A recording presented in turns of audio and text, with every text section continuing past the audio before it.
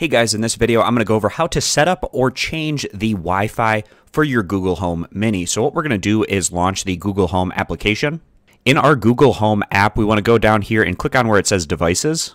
And for me, this is going to be setting up the Wi-Fi on my living room speaker. So clicking on that and then clicking on the settings gear in the upper right hand corner. And in our device information, it's going to have the Wi-Fi that we're currently connected to. So to change your Wi-Fi router, you're going to need to clear this out. So clicking on Wi-Fi and it asks, are you sure once you forget this network, you will need to set up your Google Home Mini again from the device list. So I am sure about this, so I'm going to click on where it says forget network. So now what we're going to do to set up our Wi-Fi internet is from the devices page, we're going to click on the plus sign where it says add. And we're going to have to go through the process of setting up the device again to hook it up to Wi-Fi. So we're going to click on a Google Nest device and choose your home and click next. And it's going to look for devices that are in your general vicinity to set up. And it found my Google Home Mini, so I'm going to click on where it says yes and it's connecting up and it says connected.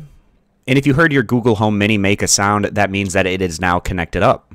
And now we can continue to work our way through these setup pages until we get to the Wi-Fi internet part. So I'm going to continue on.